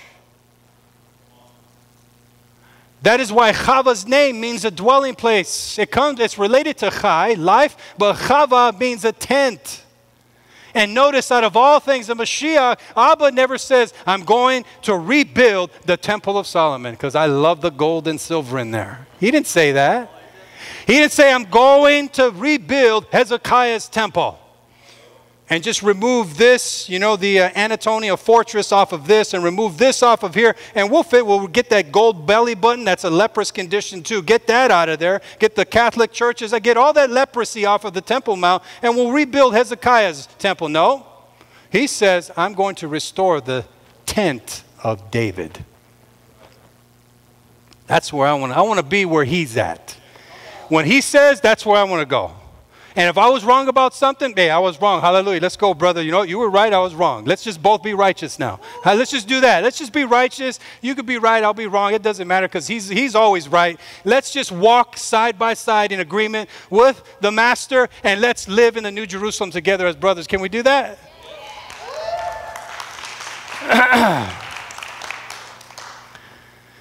The face is hidden. When one had a leprous condition, they had to hide or cover. I know we're going late. Can I just finish this? We need to finish. I don't want to stop. This is today's surgery. Sometimes surgery takes a long time, but let's just do it. You don't need to go to Adam's rib. Well, Abba's restoring the rib of Adam. You don't need to go over there.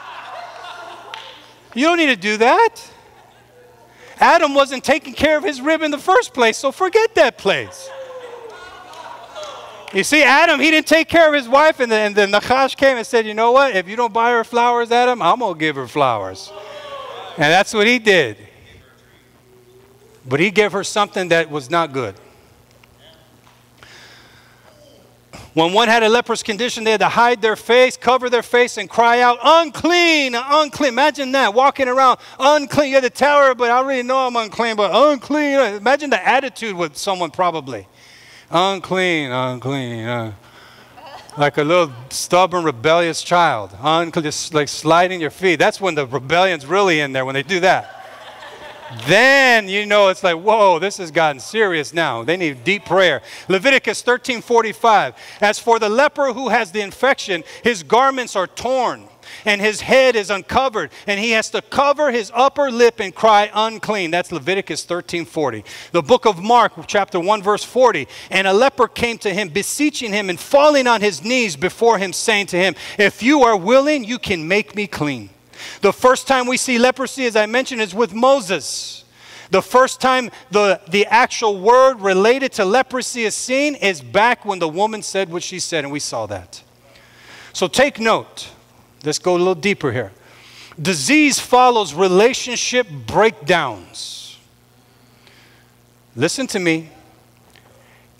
Disease follows relationship breakdowns. It can come in, whether spiritually or physically. This breakdown involves three levels of distance. I hope you guys on television are watching and in here listening.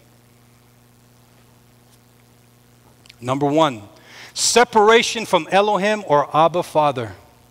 Separation is caused by fear. What did Adam do? Remember, we started with those verses. He hid. Fear of being rejected. He hid because he did not want to be rejected. He never felt this before. Fear and rejecting go hand in hand. Everyone in here has been rejected one time or another. Separation from yourself, you begin to separate from who you really are. Not liking who you are leads to not loving yourself, and therefore separation from everything and everyone takes place. Even while around everything and everyone, you are not there. It's like you're a walking zombie. The power of the resurrection destroys this thing. Why? You are accepted in the beloved. You must walk this thing through. Ultimately, number three, separation from others. A congregation is the place you should be able to come to to receive healing in all areas of your life. And today, this is what we're talking about, and this is what's going to happen. You come to congregation so that you can be accountable, be responsible, be built up, and be sent off into what Abba has intended you to do for Him. This separation from your congregation, your family, can take place because of bitterness, jealousy, envy, and strife. Healing begins in reconciliation. And remember, there's three eights that we can uh, note down. You can note down if you want to, or just pay attention. Number one, you have to recognize what this is. You have to first recognize where it all crumbled. You have to recognize it first. You can't confess your sin at all until you recognize your, you have sinned. Otherwise, it's just words being thrown out. There's no life in that. You're just saying something. You have to renounce the workings of the flesh and the enemy of your souls. You have to remove this at once from your life. That's three.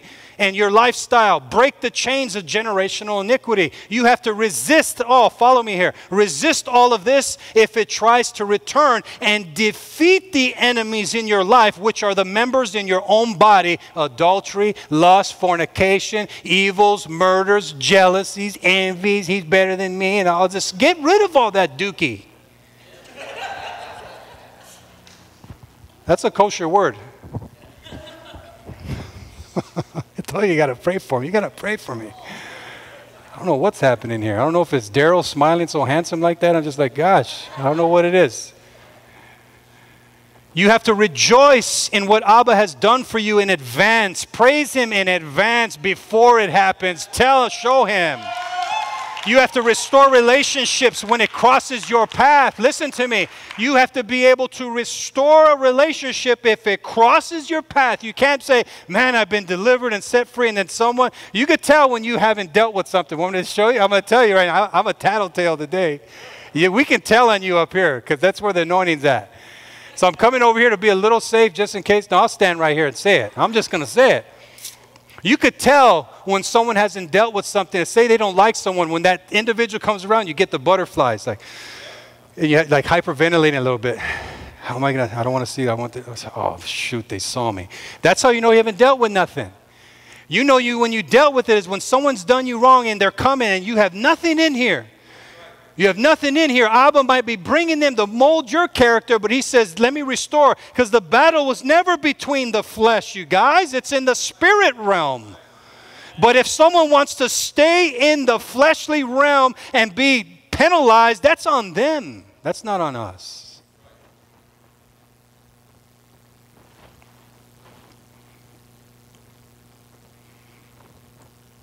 There's so much in here. Let me move. I'm going to move way ahead. All the different details with, with what the Mashiach took upon himself. And all of these are, are connected to what? Rejection and fear and sickness and disease. And that's what these two Torah portions are talking about the leprosy that comes from the mouth, the diseases that do come upon people. Death and life is in the power of the tongue, and those who love it shall eat the fruit thereof. It doesn't say life. You can tell when people aren't reading the word. Life and death is in the power of the tongue. I, I have that verse memorized. That's not even what the verse said.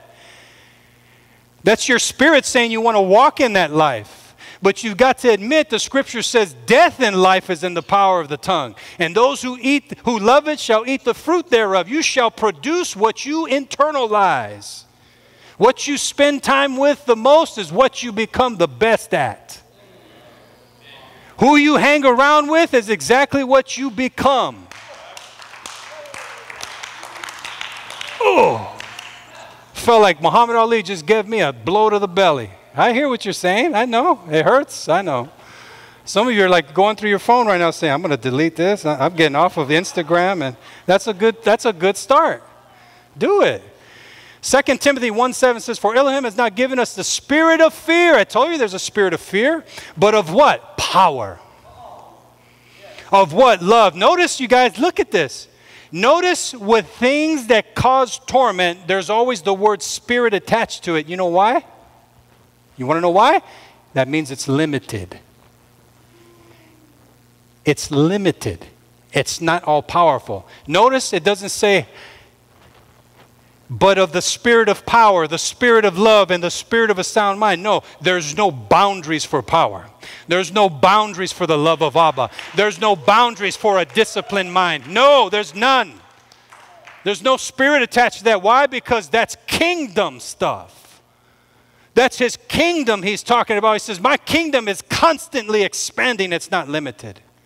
Romans 8:15 For you did not receive the spirit of bondage again to fear, but you received the spirit of adoption by whom we cry out, Abba! Abba!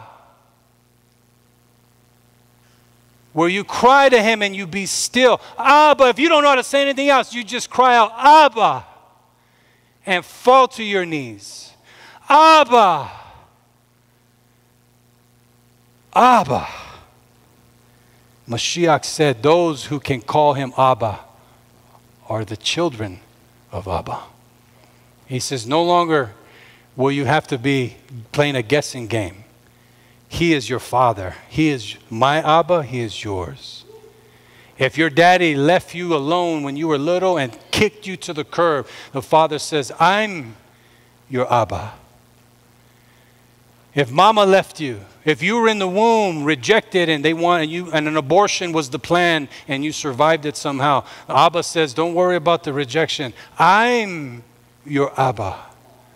You are accepted by me. Think, listen to me. The one who sits on the throne says, I embrace you and I accept you. You are my son and you are my daughter.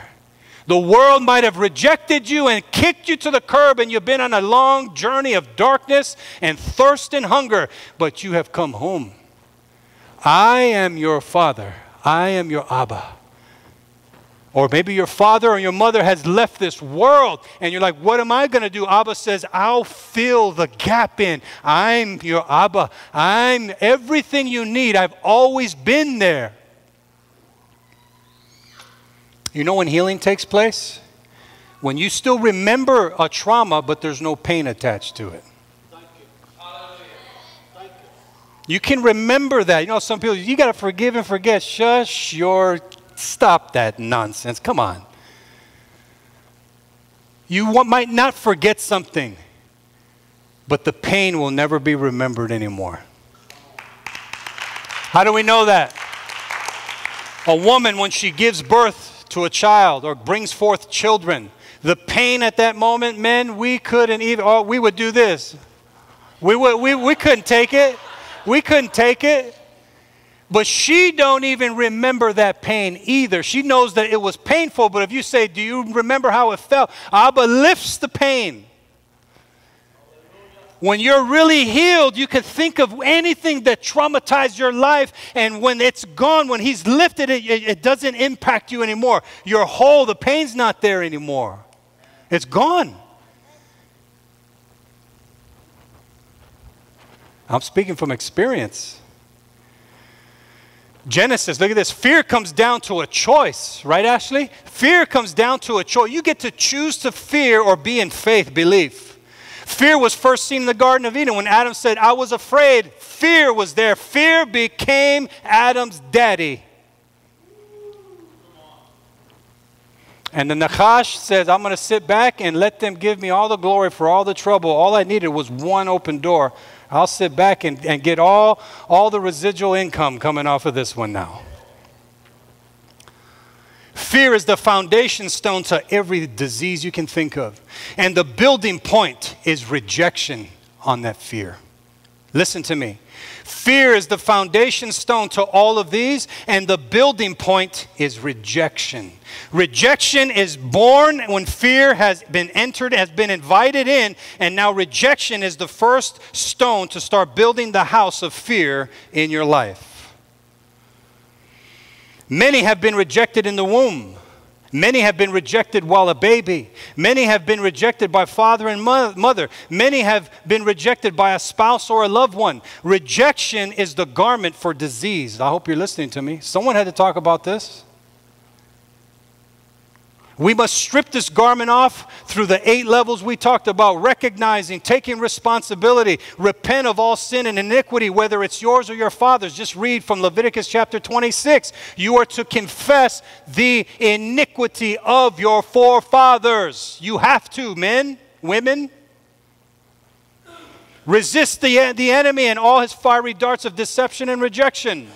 Begin to sing, remove all the stuff. Begin to sing the praises of Yah and rejoice in what He has done, even if you can't see it right now. Restore all by and through reconciliation within you and all that is around you. Fear feeds its son called rejection and bitterness. I'm, I'm attacking something right now. Fear feeds its sons called rejection with bitterness, envy, and jealousy. These are the children of fear. If you are operating into this, you be honest with Abba today we're going to do a, a call up here. You run up here and don't let that be a part of your life anymore. Rejection, bitterness, envy, and jealousy will be destroyed today if you let it. Second Timothy, as it says, for Elohim has not given us the spirit of fear, but of power, love, and of a sound, disciplined mind, which is a way of thinking. As a man thinks in his heart, so he shall become. I hope this is helping somebody. It took forever. The Father drugged me through this thing. Cast out the strong man of fear, and you will have your house. You will have your life. You will have your past, your present, and your future back. We have been given the authority to, and the power, the jurisdiction, the inheritance to cast out all spirits of fear, bondage, lack, constriction, and break the back of this once and for all. It is time for the saints of the Most High to stand up and praise the King for his deliverance and freedom in the spirit, soul, and body that you have. The antidote for fear is obtained through Abba, who is love and loves you unconditionally. You could not earn his love. There is nothing you could have done to approve of His love. His love for you is past finding out. His love, it can't even be comprehended by the entirety of heaven cannot be, comp- cannot be com- comprehended whatsoever. Begin your, your day every day with fellowship with Abba. When, you, when your eyes are opened up, lift your hands and praise Him for your life because you didn't deserve it. When you open your eyes, begin to praise Him for the authority you have in Him. Praise Him in the storms of life. Praise Him for the good, praise Him for the bad, and praise Him for the ugly. Because sometimes the most ugliest attitude is the one that you look at in the mirror. Right? That's your greatest, greatest challenge is you. You're your greatest challenge. Mike Tyson couldn't challenge you, the real you. There ain't no one that can defeat the real you but you. That's it. You. Praise the King because He alone sits upon the throne above, watching everything and watching over your souls. Are you guys all right? I hope so. This is the kingdom mandate, and it is with and what Mashiach did himself. I'm about done right now. Matthew 4 23, and Yeshua went about all Galilee. Let this minister to you. We're going to be praying right now. Give me about five minutes. And Yeshua went about all, you know, the one thing pastors never put in their notes? Give me five minutes. We never do. We have to just say that just in case someone's watching, ready to leave, because there's different time zones. Yeshua went about all Galilee. Why Galilee? Because that's where the exile began. That's where the rejection began on a, on, on, a, on a certain level. He begins where rejection is, starts and gets covered over. Rejection was covered over in the beginning, so it was covered over in a place called Golgolet, a hill, a little mountain area called Golgotha. It was covered and hidden. The Mashiach says, we're going to crucify me right over there. I'm going to crush the head of fear. I'm going to crush the seed of bitterness. I'm going to crush it so that this thing is no longer going to have power over those who come to me in faith. He went about teaching in their synagogues. I bet you that herb, I bet you they were flipping upside down when Yeshua walked in the synagogue and went and started opened the scroll and read through the scroll, but then he began to operate in the power of the Ruach HaKodesh. They were like, whoa, we never did that, and we have these long tzitzits dragging through the puddles around the city of Jerusalem. We got these pretty crowned talits on and we're walking around because we have the power over the people. No, that's called mind control. That's the only thing you got. There ain't no spirit in you, Pharisee. There ain't no spirit in you, Sadducee. That's why you're sad. You see, you guys know the joke. But you, there is no power in you. Truth brings you close and unlocks your thinking, but the power of the Ruach, the Ruach HaKodesh is what you can set you free from your addictions. Ah. So he was in their synagogue and preaching the gospel of the kingdom and healing all manner of sickness and all manner of disease among the people. That never happened on the Temple Mount. That never happened in the synagogues before. They're like, what kind of strange thing is this? You see people being restored. He says, let me just make sure I do first things first. I'm going to read from the scriptures. I'm going to proclaim my mission from Isaiah 61, but I'll leave the second part out. That's for when I return as the, as the roaring lion. But I'll read the first part first, and then guess what? What? When the word is spoken, then we're going to allow the word to set us free. And Yeshua went about all the cities, Matthew 9:35, teaching in their synagogues and preaching the good news of the kingdom and healing every sickness and every disease among the people. Matthew 11, 12. And from the days of John the Baptist until now, the kingdom of heaven suffers violence, and the violent take it by force. Bad translation. It says, From the days of John, let me just sit here for a minute. Is that all right? Can I stay right here for a second? From the days of John the Baptist, listen to me, please. From the days of John the Baptist, the Mashiach says, until now. I hope you're listening to me. From the days of the, the true Cohen Hagadol after the lineage of Aaron until now from the real high priest that should be in the temple on this Temple Mount right now until now. John the Baptist, the ordained Cohen Hagadol of the Levitical order until now. It says now something is going to take place. It says from there until now, John ushered in the expansion of the kingdom, the preparation. He says, prepare the way for the king. Why? He's coming to spread his kingdom on the earth. He's coming to spread his kingdom on the earth. He's coming to spread his love on the earth. He's coming to spread the heart of the Father on the earth as the antidote for a leprous world. Look at your neighbor and say, Who says you can't preach the Torah? Matthew 12, 28. But if I cast out devils by the Spirit of Elohim, listen to me.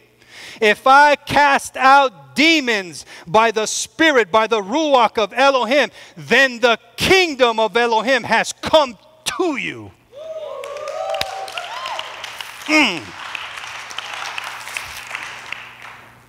Luke 9 11, I'm almost done. And the people, when they knew it, followed him, and he received them and spoke unto them of the kingdom of Elohim and healed them that had need of healing. Listen to these verses because it's an, it's an invitation for you right now. Luke 10, 8 and 9. And unto whatsoever city you enter and they receive you, eat such things as are set before you. There's a whole lot with that. And heal the sick that are therein, and say unto them, the kingdom of Elohim, not heaven. The kingdom of Elohim. I want to give you a little, a little disclaimer here. Go in your Bibles and look at every time it says kingdom of heaven, kingdom of God. Malchut Hashemayim, right? Malchut Elohim. When it looks, when it shows you the kingdom of heaven, that's kingdom expansion. When it talks about the kingdom of Elohim, he's coming to recreate something in someone's life. So you see the kingdom of heaven, it's like, man, this, which one's which? They're both interchangeable. It's the same thing. You have the ruler's creative act coming in the midst of a people to recreate them in order for the expansion of purity, sanctification can impact the ones around them. I'm almost done. But if I, with the finger of Elohim, cast out devils, no doubt the kingdom of Elohim has come upon you. Luke 12 32. Someone, let's all say this together. Fear not. Say it like you are serious because that's going to make a, a devil just laugh and say, Oh my gosh, are you kidding me? Fear not. Stand up. Fear not. Little flock, for it is your Father's good pleasure to give you the kingdom. These are words of the Messiah. Fear not. So we're going to connect this, this dot here. I'm almost done here. Stay on your feet. Leviticus 13:30. The priest, then the priest shall see the plague, and behold, if it is if it, if the sight of it is deeper than the skin, and there be in it a yellow thin hair, then the priest shall pronounce him clean. It is a dry skull, even a leprosy upon the head or upon the beard. The word for dry skull is the Hebrew word netech. Say netech. It's the scab that spreads over the head first, a type of leprosy, and it's caused by leprosy. It's in our Torah portion, chapter 13. Leprosy is the cause, and fear is the effect. You need a cause and effect to find the algorithm of something. And there's an algorithm of sin and disease. You can identify the algorithm of sin and disease through character traits and behaviors. The Septuagint translates this to the Greek word throea, which means to inflict fear upon the mind with the intent to spread that fear. Interesting. What were we talking about here today? Powerful, powerful, powerful. Fear has spread since Eden when Adam fell. First was the touch, naga, leprosy. Then Adam and the woman hid in the trees and covered themselves with fear and fig leaves. The voice comes walking in the cool of the day, but Adam and the woman hid themselves because they were in fear. Adam and the woman became leprous and therefore became a scab, which spread to all mankind. Adam was the head of mankind. The scab began with him and then affected his wife. Even though she partook of it first, he gets the scab. In Mashiach, fear is destroyed. The spread of fear is stopped. When the kingdom of heaven spreads across the minds of mankind, fear stops. The battle is in the mind. Fear looks to be enthroned upon your mind. A leprous condition has been upon the Temple Mount, as I mentioned, called the Dome of the Rock. And this has spread throughout the globe and has inflicted, I'm going to just say it, I've been threatened by radical Islamists before, and I don't care to say it. My life was threatened. But we kept ministering. We weren't going to shut up, right? They hacked all of our stuff and threatened to kill me. They called me an infidel and I was going to die. I said, You come to Shabbat and we'll get you set free, little snake.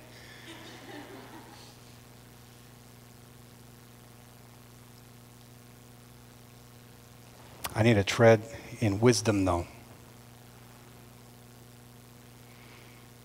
This has spread throughout the globe and has inflicted fear in the minds of many, but we have not been given the spirit of fear, you guys.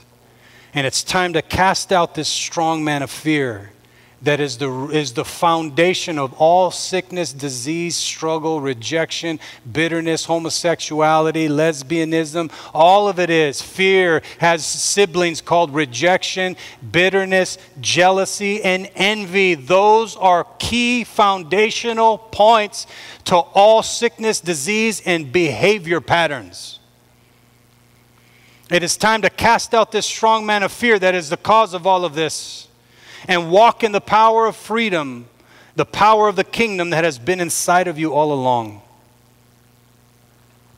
When Mashiach was here, he just came and unlocked what was in us all along. His kingdom, which is and has been unlocked since you walked through these doors or tuned in online.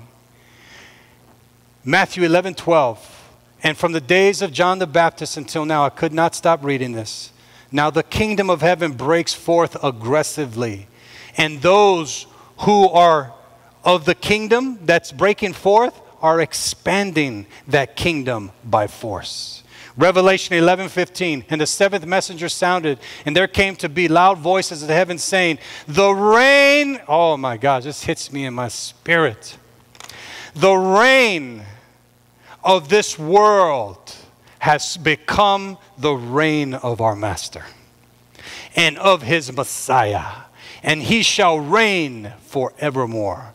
Revelation 12:10 and closing done. And I heard a loud voice saying in heaven, Now have come the deliverance and the power and the reign of Elohim and the authority of his Mashiach, for the accuser of our brothers who accused them before Elohim day and night has been thrown down to the ground.